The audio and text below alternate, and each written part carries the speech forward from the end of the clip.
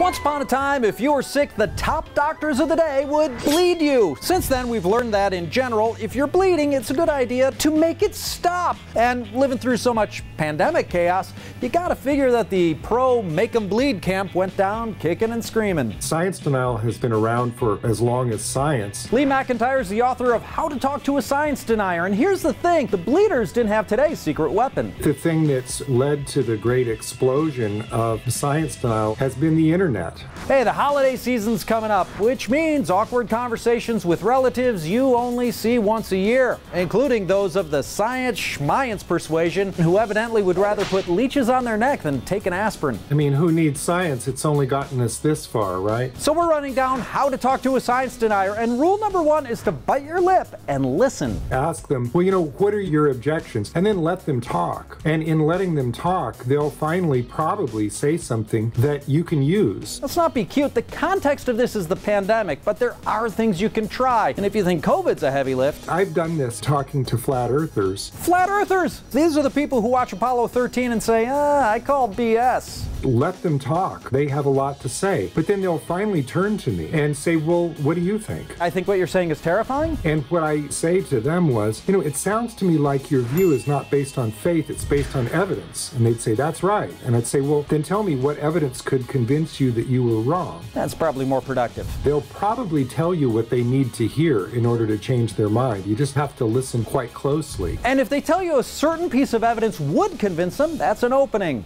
But don't count on that happening often. Instead, you've got to play the long game.